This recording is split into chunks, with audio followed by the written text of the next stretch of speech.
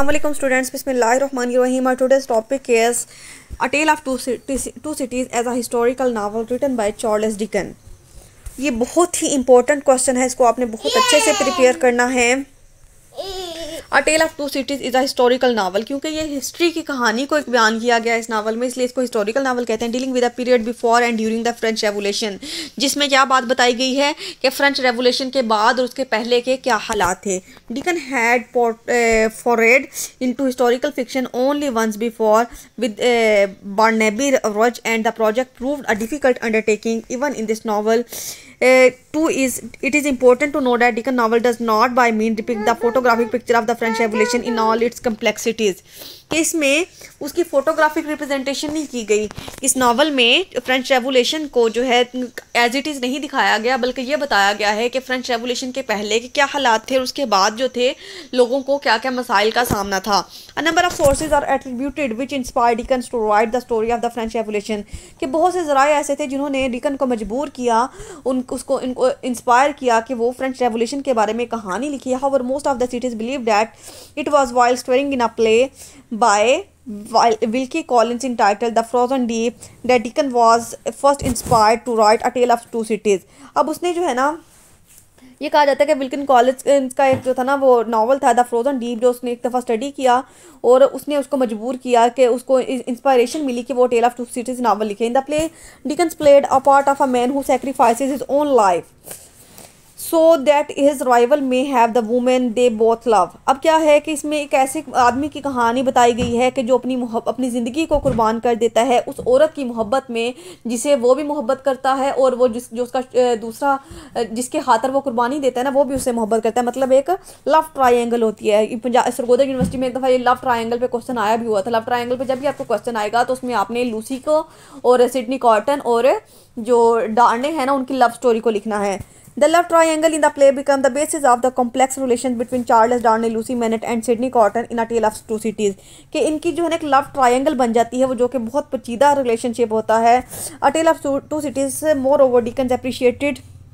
the play for its treatment of redemption and rebirth, love and violence. कि इसमें ये सारी चीज़ें पाई जाती हैं कि एक इंसान जो है अपनी ज़िंदगी को वापस कैसे हासिल करता है, उसकी रिबर्थ रिक्रिएशन कैसे होती है, मोहब्बत कैसे होती है वायलेंस कैसे होती है he decided to transpose these themes on to the French Revolution and event that embodied the same issues on a historical novel अब उसने ये सारे थीम्स जो थे वो फ्रेंच रेवोल्यूशन में इंट्रोड्यूस करवाने की कोशिश की थी और इसको एक हिस्टोरिकल नावल बना के पेश किया था। In order to make his novel historically accurate Dickens turned to uh, Thomas Carlyle account of the revolution. अब उसने अपने नावल को एक परफेक्टली हिस्टोरिकल टच देने के लिए थॉमस कॉइल्स का जो रेवोल्यूशन का स्टाइल था उसको फॉलो करने की कोशिश की थी। Contemporaries had considered Carlyle's vision to be first and the lost word on the French peasants fight ये स्किप कर दें। कॉन्टेम्प्रेरीज फाइट जो लाइन है ना स्किप कर दें। आगे देखिए। However, in spite of this historical accuracy, the novel has certain limitation. अब इसमें historical references तो दिए गए historical जो हैं limitation वो जो हैं चीज़ें तो बताई गई हैं लेकिन इसमें कुछ limitations हैं कुछ shortcomings रह गई हैं owing to which it cannot be called as historical novel in the real sense of the word कि इसमें एक इसको एक perfectly historical novel हम नहीं कह सकते कि एक ये परफेक्ट हिस्टोरिकल नावल नहीं है in a tale of two seeker Dickens depicts the beginning and of disconnect in France the rising dissatisfaction of people with the members of privileged class, the turmoil caused by public fury and the excesses and barbarities committed by the revolutionaries during French Revolution. अब इस novel में क्या है कि उसने France के हालात बताए थे और लोगों की जो थी अपर क्लास को लेके जो डिससेटिस्फिकेशन थी गैर मुतमिन थे वो, उसके बारे में बताया था और लोगों में जो एक खौफ पाया जाता था, एक डर पाया जाता था, उसके बारे में बताया था और वहाँ पे होने वाली ज़्यादतियों के बारे में, जहालत के बारे में बताया गया था। But Dickens does not give any connected account of the French Revolution लेकिन उसने फ्रेंच फ्रेंच रेवोल्यूशन की एक जो रियल पिक्चर है ना, वो रिप्रेजेंट नहीं की। Its progress and its culmination कि वो किस तरह से जो थी आगे बढ़ रही थी, क्या उसके प्रोसीजर था? He gives the brief and sketched account of some of the principals episode and does not give any systematic analysis of the cause of the French Revolution कि उसने सिर्फ़ कुछ ग्लिम्स दी हैं फ्रेंच रेवोल्यूशन के बारे में, लेकिन उसका एक सिस्टमेटिक एनालिसिस जो होता है, वो उसने नहीं किया कि जिससे आपको फ्रेंच रेवोल्यूशन की रियल पिक्चर नज़र आ सके। At the same time, Deacon also does not take any any notice of the leading historical personalities of the French Revolution और ना ही उसने फ्रेंच रेवोल्यूशन में जो पर्सनैलिटीज़ जो थी पार्टिसिपेट करी थी उनका जिक्र किया है such as रेबियो Lafayette, uh, Robespierre, and uh, Napoleon. He does not show the struggle of the government for money in the time of depression, the difficulties of parliament, the pathetic story of Mary uh, Antoinette. अब क्या है कि इसके अलावा उसने को कुछ चीज़ें स्किप कर दी उसने ये नहीं बताया कि जब फ्रेंच रेवोल्यूशन में लोग इतनी मुश्किल को झील रहे थे तो गवर्नमेंट ने क्या रोल प्ले किया था? तो यानी किस तरह से वो उसने अपना पैसा जो था, अपने जो जराए थे, उनको इस्तेमाल किया था लोगों को डिप्रेशन से निकालने के लिए? पार्लियामेंट को क्या क्या मुश्किल का सामना था, वो सब भी नहीं बताया गया। इसके अलावा मेरी एंटोनेट की जो स्टोरी है, वो भी नहीं बताएगी and philosophical thinking behind the moment और लोगों के क्या नज़रियात थे, वो भी नहीं बताए। Dickens means concern so far as the French Revolution is concern was to show that the extreme injustice leads to violence and violence then leads to inhuman cruelty as shown by the reign of terror in France अब क्या है कि deacon जो है, सिर्फ़ हमें ये बताना चाह रहा था कि जहाँ पे बहुत ज़्यादा इनजस्टिस होता है, वहाँ पे वायलेंस क्रिएट होती है और जहाँ पे वायलेंस क्रिएट होती है, वहाँ पे इंसानी ज़्यादतियाँ और जुल्म जो हैं, वो किसी भी हद तक जा सकते हैं और लोगों के अंदर खौफ की फ़िज़ा पैदा करती हैं। In the first part of the novel of his novel Dickens sympathise with poor and downtrodden people अब जो उसका फ़र्स्ट पार्ट है ना नावल का, उसमें वो लोगों के साथ, गरीब लोगों के साथ हमदर्दी करता है, जो कि बहुत बेवसो लाचार होते हैं but in the end these very people become the villains after the revolution लेकिन जैसे ही रेवोल्यूशन ख़त्म होती है, जिसके साथ डिकन हमदर्दी कर रहा था ना, ये लोग जो हैं, बिल्कुल बदल जाते हैं, आँखें जो है अपने माथे पर रख लेते हैं और मिसबिहेव करते हैं। However in spite of above state limitation Dickens succeed in presenting the historical mode of narration अब क्या है जितनी भी इसमें लिमिटेशन बताई गई हैं डिकन जो है, उन सबको बहुत अच्छे अंदाज में पेश करने में कामयाब रहता है। Dickens first reference of French Revolution come into the chapter call the wine shop कि सबसे पहले उसने वाइन शॉप की बात की है स्पिलिंग ऑफ़ वाइन की in which use the symbol of the mill to convey the grinding poverty through which the people of Saint Antoine are passing अब फिर वो उस गुर्बत के उस गुर्बत की ग्राइंडिंग की बात कर रहे हैं कि जिसमें लोग जो थे, पिस रहे थे, जो जो सेंट सेंट अंटोइन के लोग थे, जिस जिन हालात से गुजरे थे there are then there are three people of Saint Antoine are passing sorry then there are three chapters in which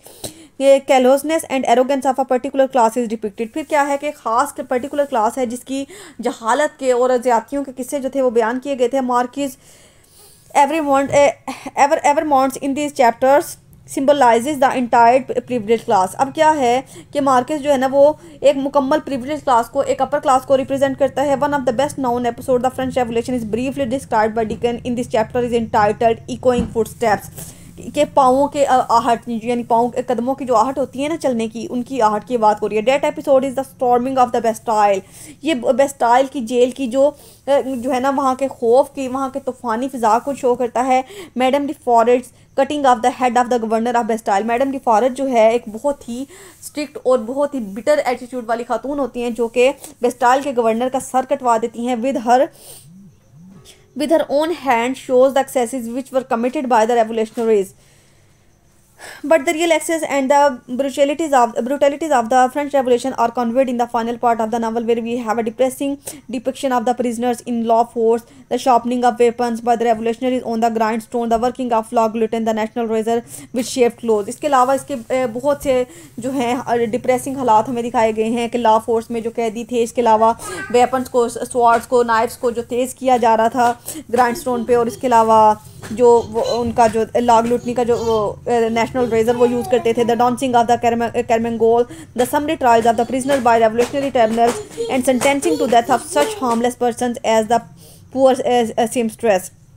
कि सारे जो हालात थे ना, ये उनको बेवजह या बेकसूर जो थे, वो मौत के घाट उतार दिया जाता था। With historical details Dickens has very beautifully interwoven the story of the novel के हिस्टोरिकल डिटेल्स देते देते डिकन ने बहुत ही खूबसूरत अंदाज में नावल की कहानी को बुना है। Thus Dickens main achievement lies not only in giving us graphic and stirring accounts in the manner of Carlyle, but along with the stirring scenes, Dickens also has successfully interwoven the personal lives of individuals like Dr. Maynard, Lucy, Maynard, Darnay, and Carton, besides such less important figure Mr. Miss, uh, Mr. Lurie, Miss Prose, and John Bursett. कि क्या है कि उसने करलाइल के जो style को follow करते हुए ना बहुत अच्छे से इसको लिखने की कोशिश की है, लेकिन इसके अलावा उसने कुछ करेक्टर्स की पर्सनल लाइफ को भी बहुत अच्छे से डिस्कस किया है। जैसा कि ये सारे करेक्टर्स थे जो हमारे मेन करेक्टर हैं। In writing his novel he was very particular about integrating the personal life of his character with the wider pattern of society कि उसने पहले तो उनकी लाइफ के इंडिविजुअली उनको डिस्कस किया है कि वो कैसे लोग हैं, कैसे अपनी ज़िंदगी जो है बसर कर रहे हैं। उसके अलावा उनका जो है हिस्ट्री में उनका क्या रोल रहा है, वो भी बताया है। It is the principal scheme of the novel to show the individual fate being mirrored by the fate of the social order. It is to be kept in mind that although Dickens was evidently evidently obsessed with violence which had interrupted during the means of uh, sorry uh, during the French Revolution and massacre yet he was by no means a revolutionary himself. अब ये इस बात में तो कोई शक नहीं है कि उसने सारा जो है फ्रेंच रेवोल्यूशन के बारे में लिखा है सारे वहाँ के हालात बताए हैं वॉयलेंस के बारे में बताया है लेकिन इन सब के बावजूद हम उसको एक ये नहीं कह सकते वो भी उस रेवोल्यूशन रेवोल्यूशन का हिस्सा था या फिर खुद भी एक रेवोल्यूशनरी था। He makes it clear that the French nobility had by their own short sightedness and folly sown the seeds of the French revolution कहता है कि इंसान की अपनी जो है वो उसकी शॉर्ट साइटेडनेस होती है, तंग नज़री होती है, या बेवकूफ़ी होती है कि जो फ्रेंच रेवोल्यूशन जैसी चीज़ों को क्रिएट करती है, या उसमें पार्टिसिपेट करते हैं he makes it clear that French revolution was the natural and inevitable consequence of the social oppression which had continued in the in the France for centuries के फ्रेंच रेवोल्यूशन जो है, उन, जो है ज़्यादतियों का, या फिर उन, जो है ना डिसऑर्डर्स का नतीजा थी जो कि काफ़ी सालों तक या काफ़ी सदियों तक फ्रांस में जारी रहे थे but this does not make Dickens himself an upholder of champion of revolution लेकिन इसका ये मतलब हरगिज़ नहीं है कि डिकन जो था वो भी उस रेवोल्यूशन का चैंपियन था या हिस्सा था। It is true that certain Marxist critic have created a tale of two cities as a work of revolutionary intention but the revolutionaries are mistaken when they proclaims Dickens to be one of them कि बहुत से critics जो है ना, वो उसके इस novel की वजह से उसे ये एक रेवोल्यूशनरी समझ लेते हैं, लेकिन ऐसा बिल्कुल भी नहीं है कि एक वो खुद एक रेवोल्यूशनरी नहीं है। Dickens certainly does not approve of the violence of revolution क्योंकि उसने रेवोल्यूशनरीज की या रेवोल्यूशन की जो वायलेंस थी, उसको बिल्कुल भी अप्रूव नहीं किया, वो उसने उसकी खिलाफ वर्जी ही की है। Madame Defarge is ultimate personification of the French Revolution in A Tale of Two Cities and she is person whose uncontrolled desire for revenge has changed her into a monster or to pure evil. अब क्या है कि उसका जो character है ना, वो इतना उसने वो बुरा बना के पेश किया कि वो अपनी ख्वाहिशात जो है ना, वो उन उसकी काबू में नहीं होती और वो इस वजह से एक प्योर इवल एक जो है मुकम्मल शैतान की जो देवी होती है ना, वो बन जाती है the final struggle between her and Mrs Pross is a contest between the forces of heighted and love अब क्या है कि वो मिस प्रोज का और उसका जो हैंड पे जाके झगड़ा होता है, जिसमें जो वो जंग जो है ना, वो उन दोनों की जंग नहीं होती, बल्कि एक मोहब्बत और नफरत की जंग होती है। It is love that wins one madam Defarge self destroyed through the accidental going off her own pistol अब जब उन दोनों का झगड़ा होता है तो जो मोहब्बत होती है, वो जीत जाती है और मैडम डिफारेज की अपनी ही पिस्टल से जो है मौत हो जाती है हादसाती तौर पर this incident shows that can feels no sympathy whatever for the revolutionaries of madame Defarge's type तो इसे पता चलता है कि अगर मैडम डिफारेज टाइप की जो ज़्यादा करने वाली खातून या लोग होते हैं,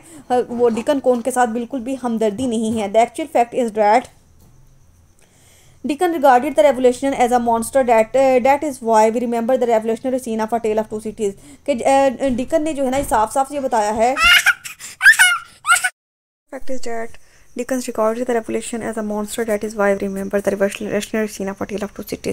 Dickens जो है ना, जो रेवोल्यूशनरीज थे जो कि इस तहरीक का हिस्सा थे, उन सब के खिलाफ और उनको मॉन्स्टर कह के बुलाता है। The scenes have the quality of a nightmare and it is Dickens own nightmare the moral which Dickens therefore wishes to teach us through the treatment of French revolution is that violence leads to violence that prison is the consequence of prison कि, यानी जितने भी जो violence होती है ना, वो violence को ही क्रिएट करती है। और प्रिजन जो है, वो किसी प्रिजन का ही नतीजा होती है। And the hate is the reward of hatred और नफरत के बदले नफरत ही मिलती है। He wants that government should not allow the people to become so frustrated and angry that they are compare to revolt and become recklessly violent कि वो कहता है कि गवर्नमेंट को जो है ना इसके खिलाफ जो है वो सख्ती करनी चाहिए कि वो लोगों को इजाज़त ना दे के वो फ्रस्ट्रेटेड हो जाए एक दूसरे का खून बहाएँ या फिर जो है रूल्स को रूल्स की वायोलेशंस करें। If all French nobleman had been as willing to give up their class privileges as Darnay कि कुछ यानी जो थे बहुत नोबल मैन भी तो फ्रेंच रेवोल्यूशन के जैसा कि डारने हैं if and if all French intellectuals had class privileges as Darnay and if all French intellectuals had been as keen expose to social abuse as doctor Manette there might have been no French revolution कि अगर वहाँ पर सारे लोग जो थे वो डारने और डॉक्टर मैनट जैसे होते ना तो शायद फ्रेंच रेवोल्यूशन ना होती और there would be at least might have been no sorry at least have been no revolution of the same terrific dimension और इस तरह के खौफनाक हालात पैदा ही ना होते the complete that the French revolution was born out of unspeakable sufferings intolerable oppression and heartless indifference जो फ्रेंच रेवोल्यूशन थी वो लोगों के जो है बुरे सख्त दिली की वजह से या फिर उनकी अनस्पीकेबल ना बताए जाने वाले दुखों की वजह से या फिर उन पे एक प्रॉपर गवर्नमेंट ना होने की वजह से या फिर लोगों के बेदिल या गैर हमदर्दाना होने की वजह से ये सारे हालात जो थे वो क्रिएट हुए थे।